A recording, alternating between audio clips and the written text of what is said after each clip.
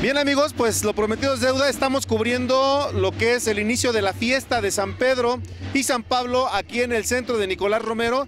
Estamos eh, en la espalda, vemos lo que es el, pues la iglesia, ya una iglesia que tiene historia, una iglesia que data de la época de la conquista todavía y bueno, pues con, con algunas modificaciones porque así ha sido a través del tiempo.